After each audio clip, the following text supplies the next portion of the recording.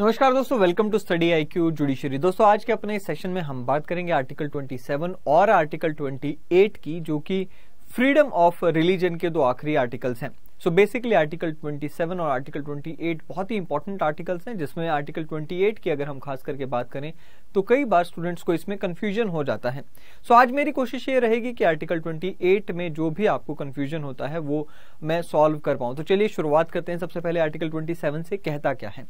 कहता है, जी freedom as to payment of taxes for the promotion of any particular religion कह रहे no person shall be compelled to pay any taxes the proceeds of which are specifically appropriated in payment of expenses for the promotion or for the maintenance of particular religion or religious denomination मतलब सिर्फ़ इतना सा है कि भाई, आपके ऊपर किसी प्रकार का कोई ऐसा टैक्स नहीं लगाया जाएगा जिसकी पेमेंट या जिसकी प्रोसीड्स को एक पर्टिकुलर रिलीजन या रिलीजियस डिनोमिनेशन की पेमेंट्स या फिर मेंटेनेंस के लिए प्रमोशन के लिए इस्तेमाल किया जाए।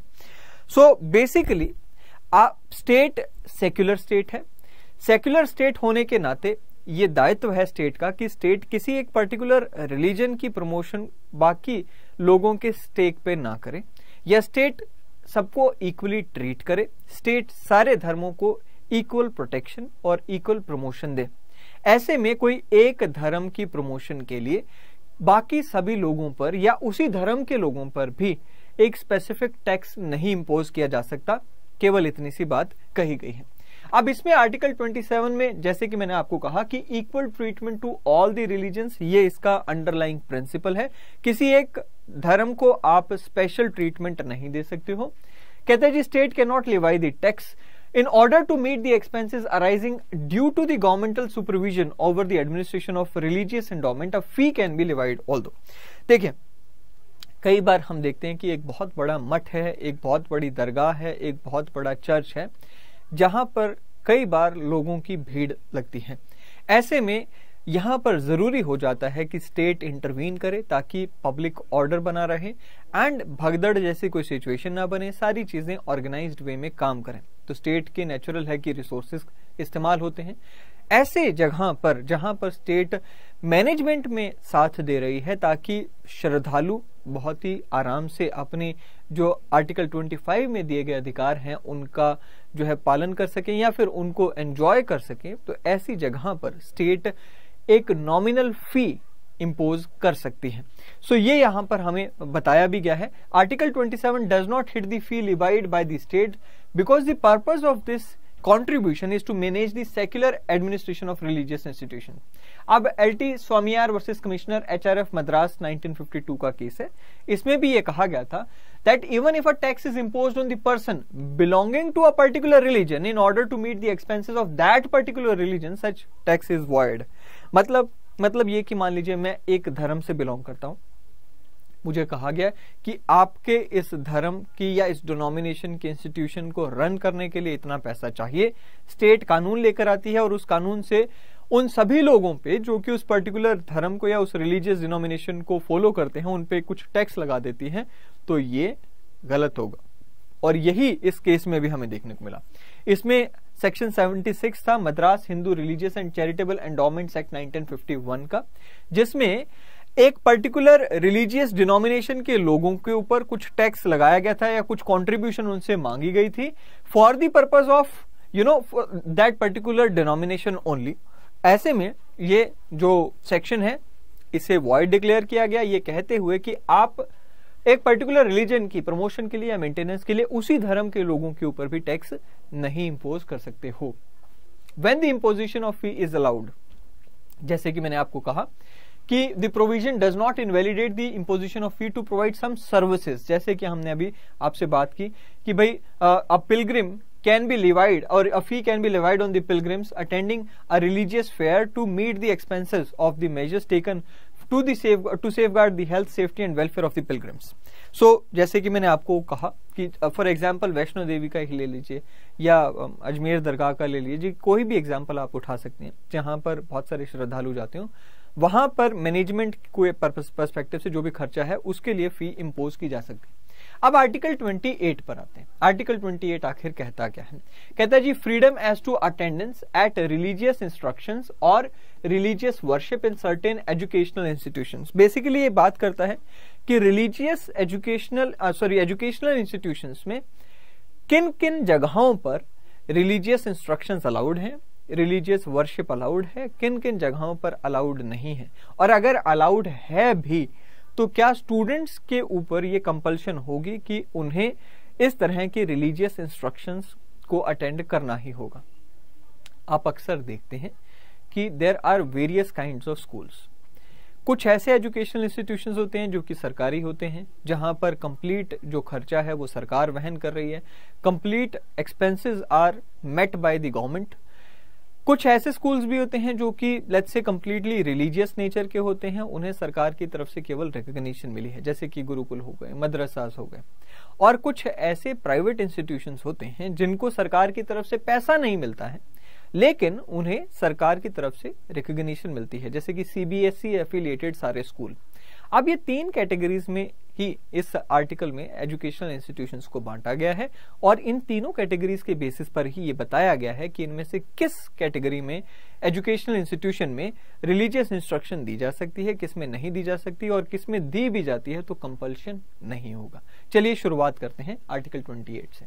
आर्टिकल 28 क्लॉज वन क्या कहता है? That no no religious instruction shall be provided in any educational institution wholly maintained by the out of state fund so basically कोई भी ऐसा एजुकेशनल इंस्टीट्यूशन जो कि completely maintained out of state fund है, उसमें कोई रिलीजियस इंस्ट्रक्शन दी ही नहीं जाएगी। And it is a compulsion क्योंकि शेल्बी का इस्तेमाल किया गया है। और ये कौन से इंस्टीट्यूशन होते हैं? बेसिकली जितने भी सरकारी school government schools and colleges होते हैं, उनकी बात कर रहा है। दूसरा कहता है कि भाई nothing in clause one shall apply to an educational institution which is administered by the state but has been establish under an any endowment or trust which requires that educational institution or which requires instruction shall be important in such educational institution so ये जो है, ये एक saving clause है। क्या कह गया? कि भाई, ऐसी जो बात यहाँ पर लिखी गई है क्लॉज वन में, वो ऐसे किसी भी एजुकेशनल इंस्टीट्यूशन पे नहीं लगेगी, जो कि एक ट्रस्ट या फिर एक एंडोमेंट के तहत बनाया गया है एंड एडमिनिस्टर्ड बाय स्टेट है। यानी कि, जैसे कि हम बात करते हैं गुरुकुल एंड मदरसाज की, कई बार ऐसा होता है कि गुरुकुल एंड मदरसाज में सरकार की तरफ़ से पैसा दिया जाता है। सरकार की तरफ़ से एड दी जाती है। लेकिन उन इंस्टीट्यूशंस को बनाया ही इसलिए गया है कि रिलीजियस इंस्ट्रक्शन को दिया जा सके। तो ऐसे में बेशक सरकार एडमिनिस्टर कर रही है, बेशक उन्हें रेगुलेट कर रही है, बेशक उनको हेल्प कर रही है एड प्रोवाइड कर रही है, लेकिन क्योंकि उन एजुकेशन इंस्टीट्यूशंस को बनाया ही इसीलिए गया था कि वहाँ पर रिलीजियस इंस्ट्रक्शन दी जाएगी तो सरकार उसे रोक नहीं सकती। और अगर आप ऐसे एजुकेशनल इंस्टीट्यूशन में जा रहे हो, जो कि बनाया ही उस पर्पज से तो आपको वो एजुकेशनल इंस्टीट्यूशन में जाने की पहली कंडीशन ये होगी कि वहाँ पर आपको ये इंस्ट्रक्शन अटेंड करनी भी पड़ेगी। फिर आता है जी clause three no person attending any educational institution recognized by the state or receiving aid out of the state funds shall be required to take part in any religious instruction that may be imparted in such institution or to attend any religious worship that may be conducted in such institution or in any premises attached to it. Thereto unless such person or if such person is a minor his guardian has given the consent thereto to cultural and educational rights क्या कहा गया? कि कोई ऐसा educational institution जो कि केवल recognised by state है, जैसे कि CBSE comes under the definition of state CBSE के द्वारा recognized and affiliated educational institutions वहाँ पर एजुकेशनल इंस्टीट्यूशन में रिलीजियस इंस्ट्रक्शन देने पे कोई रोक नहीं है, दी जा सकती है। लेकिन बच्चों को कंपल्शन नहीं है कि उन्हें वो रिलीजियस इंस्ट्रक्शन को अटेंड करना ही होगा। अगर बच्चों को करना भी है तो उनके, उनका कंसेंट होना चाहिए या फिर उनके गार्जियंस का कंसेंट होना ज़रूरी है, तभी उनसे इस इंस्ट्रक्शन में पार्टिसिपेट करने के लिए कहा जा सकता है। सो आर्टिकल 21 क्लॉज वन तो हमने देख ही लिया कि भाई no religious instruction to be provided in education institution अब जो wholly maintained out of state fund है, वो कौन से हैं? गवर्नमेंट स्कूल्स एंड कॉलेजेस हैं, इसकी मैंने आपको बात करी। एक जो छोटी सी बात यहाँ पर हमें समझने की है वो ये कि religious instructions are different from religious education religious education is not equal to religious instruction क्यों? Religious instruction is the teaching of rituals and practices जबकि रिलीजियस एजुकेशन जो है वो it is a teaching of morality and values of various religions honourable courts भी इसमें काफ़ी अपनी judgements दे सक, दे चुके हैं, मैं आप केस पे भी आऊँगा। एक डिफरेंस समझने की बात है कि यहाँ पर मनाही है किस चीज़ पे? रिलीजियस इंस्ट्रक्शंस पे रिलीजियस एजुकेशन पे कोई मनाही नहीं। एक सरकारी स्कूल में, जो कि आर्टिकल 21 क्लॉज वन में आता है, इस सरकारी स्कूल या कॉलेज में रिलीजियस वैल्यूज़ को पढ़ाया जा सकता है।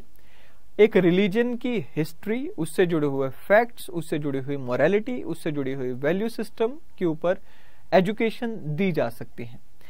For example Buddhist school of Buddhist studies हम देखते हैं स्कूल ऑफ़ हिंदू स्टडीज़ हम देखते हैं। इस तरह के जो भी एजुकेशनल इंस्टीट्यूशन हैं जहाँ पर different different you know school जो रिलीजन्स है उनके बारे में पढ़ाया जाता है। पढ़ाने पे कोई पाबंदी नहीं है बट यस yes, आपको ये नहीं कहा जा सकता कि भाई जो वेदास में मंत्रास लिखे हैं जो बुद्धिज्म के जो रिचुअल्स हैं उन्हें आप परफॉर्म करना शुरू कर दीजिए। इस तरह की जो रिलीजियस इंस्ट्रक्शंस होती हैं उस पर मनाही है और वही यहाँ पर हमें बताया गया है। सो so, वो मैंने यहाँ पे बात भी लिखी है कि Indian secularism is a positive idea and education about religion can be important so हम सभी धर्मों में विश्वास रखते हैं सभी को प्रमोट करने की बात करते हैं। तो इसमें कोई बुराई नहीं है कि एक धर्म के बारे में बताया जाए एजुकेशनल इंस्टीट्यूशन में।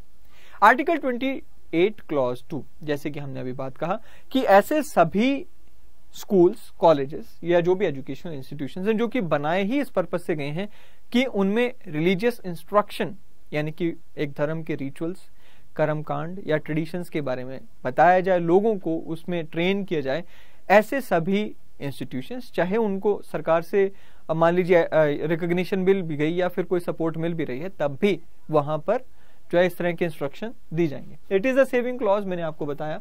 कहते जी if an educational institution is established by a trust और endowment merely recognised by the state then it can impart religious instruction the difference between the state recognized institution and state funded there is a difference between state recognized institution and state funded institutions now article 28 clause 3 की हम बात कर लेते हैं क्या कहता है कहता है जी no person can be compelled to participate in religious instruction or to attend any religious worship in an educational institution recognize by the state receiving it out of the state fund so basically जो educational institution है, जिन्हें recognition मिलती है या फिर जो add भी पा रहे हैं, और वो किसी रिलीजियस पर्पज से नहीं बनाए गए हैं, कोई स्टेट एंडोमेंट या रिलीजियस एंडोमेंट या ट्रस्ट के तहत नहीं बनाए गए हैं, वहाँ पर रिलीजियस इंस्ट्रक्शन देने पे कोई रोक नहीं है।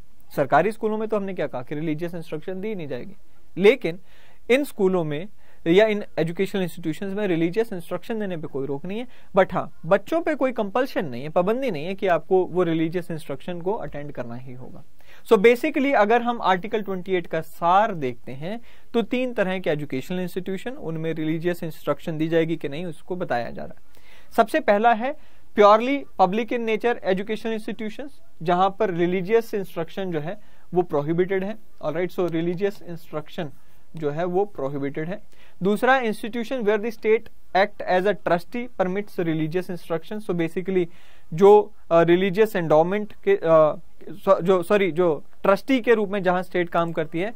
और तीसरा क्या है? State aided denominational institution allows religious instruction on a voluntary basis so ये तीन हमने यहाँ पर तीन तरह के इंस्टीट्यूशंस की बात करी Aruna Roy versus union of India 2002 का केस है क्या कहता है in this case supreme court observe that article 28 does not ban study of religions there is no prohibition on the study of religious philosophy and culture and particularly having value based social life in a society which is degenerating for power post and property so basically ये बताया गया कि आप morality पढ़ा सकते हो, एक धर्म से जो भी मोरल वैल्यूज़ आपको सीखने इसलिए आप देखिए, आप अपनी हिस्ट्री की किताबें उठा के देखिए एट्थ नाइन टेंथ क्लास की तो वहाँ पर जैनिज्म की क्या फिलोसफी थी बुद्धिज्म की क्या फिलोसफी है हिंदुइज्म की मुस्लिम धर्म इस्लाम की क्या फिलोसफी है क्रिश्चियनिटी की। तो ये सारी बातें वहाँ पे पढ़ाई जाती हैं खास करके एनसीआरटी ओल्ड एनसीआरटी आप उठा के देख सकते हैं। सो अल्टीमेटली कंक्लूजन क्या है? कहते हैं जी study of religion there is school in school education cannot be held to be an attempt against the secular philosophy of constitution so ye tha article 28 I hope कि आपको article 27 and 28 clear होंगे अगले session में फिर एक बार मिलेंगे till then thank you and have a great day thank you